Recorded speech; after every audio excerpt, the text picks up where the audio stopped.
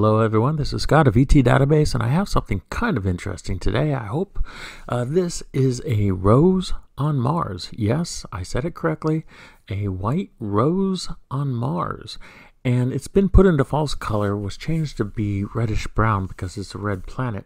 Uh, however, I put it back into normal color and as you see, uh, it does appear to be a white rose sitting out in the middle of nowhere. This is a close-up of it.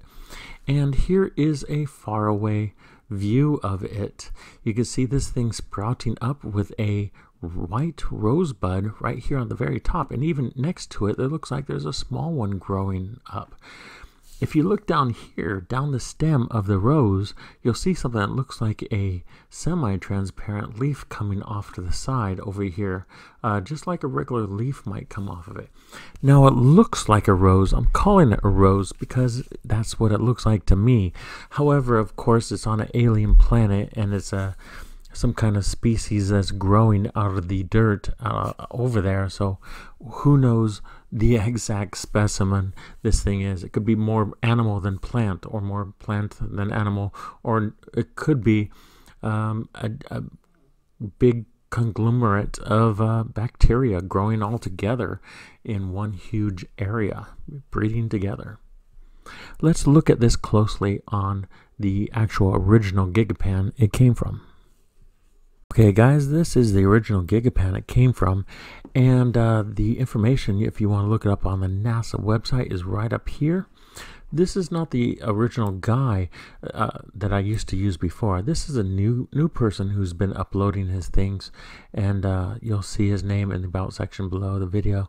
Uh, but it's pretty unique. He does some great stuff, and he uploads very high quality things. Now, the rose in question is right over here where my cursor is. Do you see my cursor? In the far left side, right over here. So let's zoom in right over there. Right over here. That is it right there. Do you see it? It's right there. Can't miss it. Okay, this is the the rose, the flower that I was mentioning It's just incredibly unique, and there's so many amazing things in this photo. Um, I, I, think you'll find quite a few faces, statues, uh, broken fragments of uh, uh, old architecture here and there. Looks like there's a, a, some kind of pyramid structure fallen over over here. Uh, some incredible things there really are, and uh, the shapes and and oddities like this. And uh, this thing, it looks like a horse laying down on the ground. Uh, and this looks like a snake or something. There's so many crazy cool things in this one. Look at this, guys. Look at this. Does this and this look like bones to you? It really does. It looks like some kind of bones. Ancient bones. There's the, the part there that connects. And look at that. It's like a scapula or something in the shoulder. Wow, that is crazy cool. And this thing here almost looks like a shovel down there. There are some great things. What the heck is this? I don't know. Guys, there's just some amazing things in this Gigapan. You should really go and check it out. It has some incredible things um, that, wow, kind of neat, that you should really check out because um, is number one, it's just fun to explore these things yourself. And number two, you might find the next incredible discovery. I mean, I found a flower in this one. A flower of all things. A flower. That is just crazy, isn't it? A flower? How could a flower be here? But let's take a closer look at that flower. Okay, ready? All right, here we are looking at a closer look at this. And this is after I've changed everything. I actually uh, changed it and put it back into normal, push auto levels, and this just went into this focus, okay?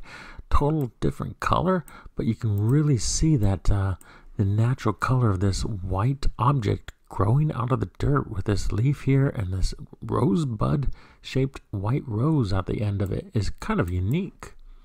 It's really, really incredible, isn't it? Look at that, guys and that's total natural. Now, all I did was uh, a little bit of focusing. Let's show you. Pick up and drop. I did this. This is a screenshot of the original. And then I decided, oh, okay, come up here and hit auto levels on Photoscape X. And what happened is it put in original colors and everything. Okay, so everything's more original. And then I thought, wow, it's a little bit too white. Let's hit dehaze, add a little bit of darkness. And that helps bring out a lot of colors because there's just too much light there. And that's one of the things NASA does a lot is they add too much light on purpose to lose focus for the public. Um, I don't believe they did it here on purpose, but they have done it in other photos. So look at that, guys. This is all original, 100% amazing. This is how it really looks in real life. Now, if I try to add more dehaze, can't see it as well, but you definitely see it exists. It's there. Let's leave it right here. If I try to add sharpening, I'll lose its focus because the white becomes too white. Okay, so we lose the focus there. But still, that's kind of amazing, isn't it? A rose on Mars. 100% proof that alien plants still exist, still find ways to exist with very little oxygen on the planet. Okay, guys, Scott C. Waring, ET Database, signing out. Like and subscribe.